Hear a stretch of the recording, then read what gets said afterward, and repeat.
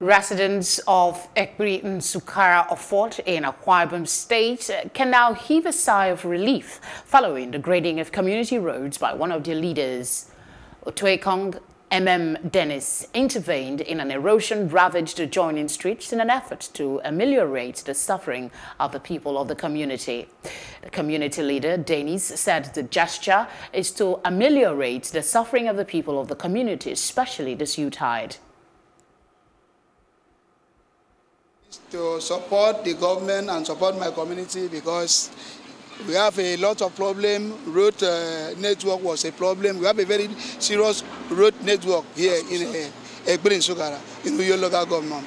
I couldn't wait for the government, so I had to use my my personal resource and see what I can do so that people that are living here can have access to their houses and have uh, access to their business.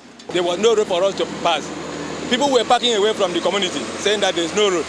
If you see how the situation was about uh, a week ago, you will know that people were going out of the place. Children are smiling, students, even before this time, there was no school here. When wow. it is raining, people will shut down their schools because of the bad road.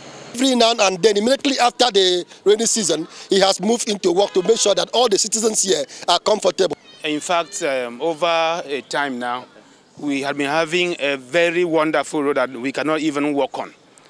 But today, what I have just seen today, in fact, give me hope that there is a hope for this community.